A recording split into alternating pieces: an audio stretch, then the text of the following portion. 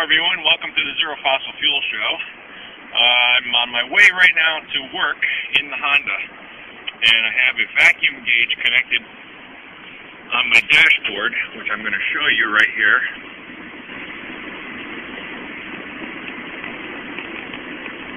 And I don't know how well you're going to be able to read that gauge, but I'm going to tell you the um,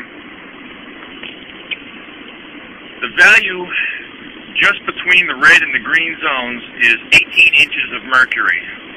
Okay, and that uh, that calibration point you see in the middle of the in the middle of the green zone is 20 inches of mercury, and then each major division is five inches. So the major division that you see in the red is 10 inches of mercury, and then uh, five inches of mercury. Let's see, is that right?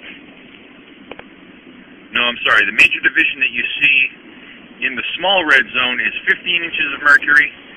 The first major division you see at the lower red zone is 10 inches of mercury, and then 5 in the middle of that. I just want to give you some idea of how wildly the vacuum changes in an automobile as you're accelerating through the gears or as you accelerate from a stop. Now, that is 10 inches of mercury right there, and I'm going to tell you right now, I'm in fourth gear. That is very light acceleration but that is the place where we want the HHO being generated to supplement our gas while we're accelerating. Now I'm decelerating. I have my foot off the gas. That's about 23 inches of mercury right there. Okay, if we were to have a, a cell attached to that, and I have to hold my cell phone camera down a little bit because I'm breaking a whole lot of laws by recording this, and as a policeman, by the side of the road. I don't want him pulling me over. Um, but I'll continue the explanation. Um, the as you're decelerating, the vacuum is the highest. If we were to have our HHO electrolyzer cell attached to the intake manifold under this condition, we would be generating the most amount of HHO during deceleration, and that is exactly the opposite behavior that we would like to have from the cell.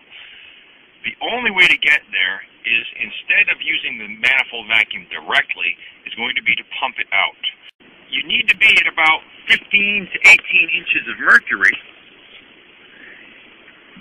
to be at one half of an atmosphere, which would probably, which I'm assuming, or I will measure for you shortly, uh, would double the gas production from the cell. Okay, now there it is, 18 inches of mercury, and that's just at an idle. I'm sitting at a stop, so now I'm going to start up just a little bit. Okay, slow acceleration, first gear. So you're seeing the, the vacuum is fluctuating really, really wildly. Of course, if I mash it,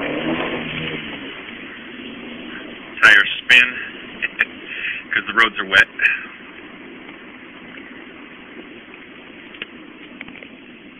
And there I am at an idle again.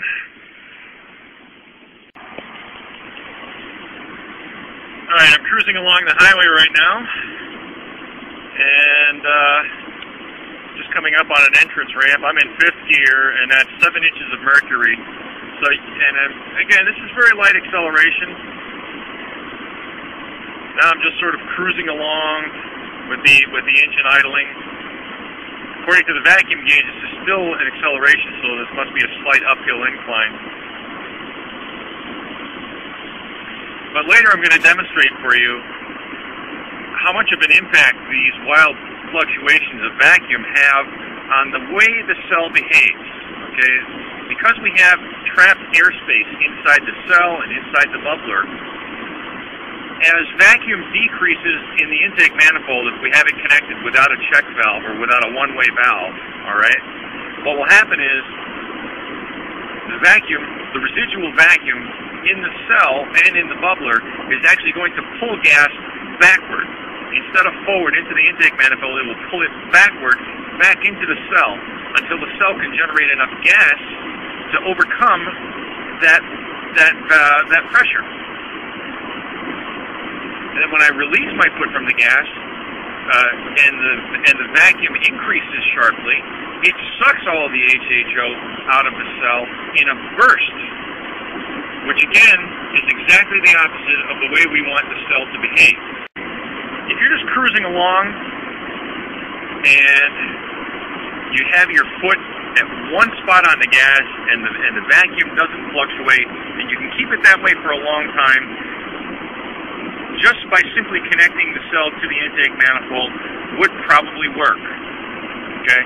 But in real life, that's not what you see on the road, and that's what I that's what I really wanted to demonstrate here for you just uh, today, is that as you're driving along, there are major fluctuations in the intake manifold vacuum, and attaching a cell directly to it, while it will increase the output of the cell, is not increasing it in the way that you want it to go. But the amount of energy required to pump it out to create the vacuum is extremely small. So it doesn't matter if we have a vacuum pump attached to the output of the cell driven by power from the motor. It places such a small load on the motor that the benefits we receive from doing that greatly outweigh the amount of energy that we have to put into the cell or into the pump to, to suck or to put a vacuum onto the cell. Okay, here we go, finally my usual stop and go funeral procession on the highway.